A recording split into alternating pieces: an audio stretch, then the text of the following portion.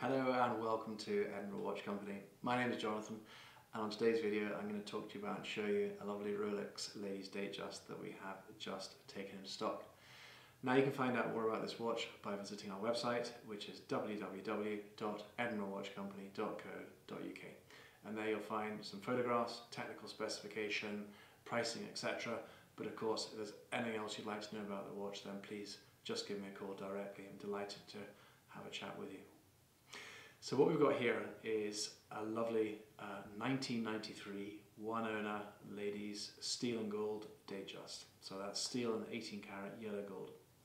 This, as you can see here, it has everything. And so when you're looking for a luxury watch, we really recommend that you try and buy one with all the, the provenance, all of its boxes and papers.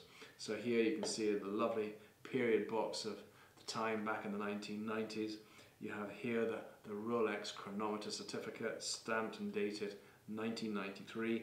Uh, you have here the instruction manuals and the, the sort of 94, 95 date card that was issued with them. Nice little wallet here and a very pretty red Rolex box. So we'll have a better look at it now. So this is the traditional um, 26 uh, millimeter size. So this is what most of them are, a traditional uh, ladies size. Um, stainless steel and 18 karat yellow gold, but it has the lovely fluted bezel on the top there. Again, that's solid 18 karat gold. And this particular one has the champagne batten dial on it. So again, I think the colors work very, very well. We tend to find majority of the Datejust we see are in this color combinations. I think that tells a story. It's a, it's a popular uh, look and feel. Uh, it has the, the batten hour markers there, so again, very easy to, to read. And you have the date function there too with the, the magnification on it there, so again, easy to, to see the date.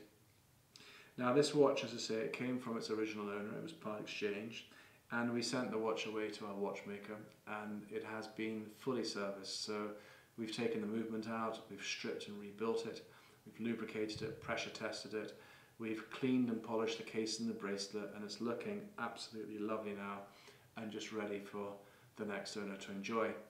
Now, as I say, the price of these watches now, they're almost £7,000 in the, in the 28 mil.